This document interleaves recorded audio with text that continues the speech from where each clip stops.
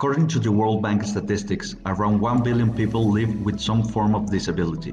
While this is more common in developing countries where the economic conditions are weaker, these people represents around 15% of the entire world's population. Also, almost 30% of them are related to people with visual impairment.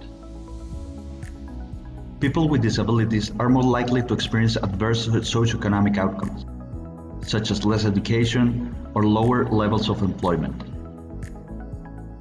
However, the good news is that technological advances join the fight.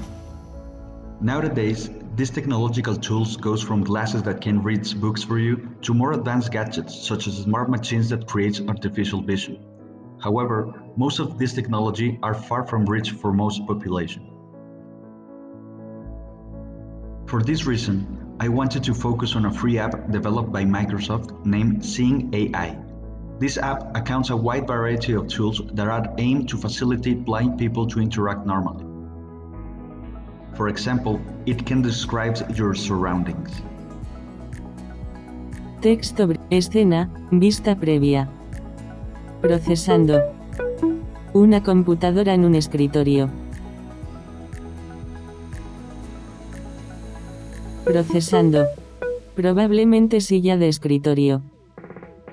Also, this app can read books or documents for you by only placing the camera on the text.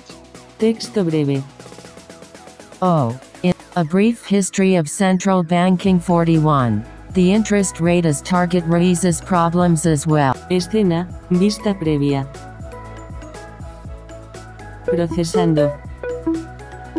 Mario Draghi, Janet Yellen posa para una fotografía. Another advantage is that the app can identify bills and coins from 17 different countries. Texto 500 pesos. 100 pesos. The application has another useful tool that goes from some focus to read large documents, another that allows to identify people's physical characteristics, distance, or clothing, and also a tool dedicated to identify products in the supermarket.